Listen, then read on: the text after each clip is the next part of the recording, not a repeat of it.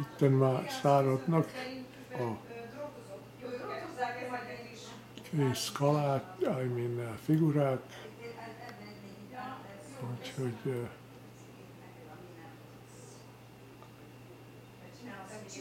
lesz bőven.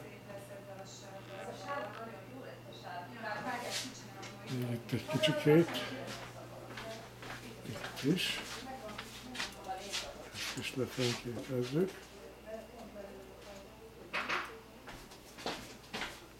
Nagyon jó. Igen, most már rakadná a- arra. Az, amit, amit Akkor meg ezen a felén is. Itt van négy.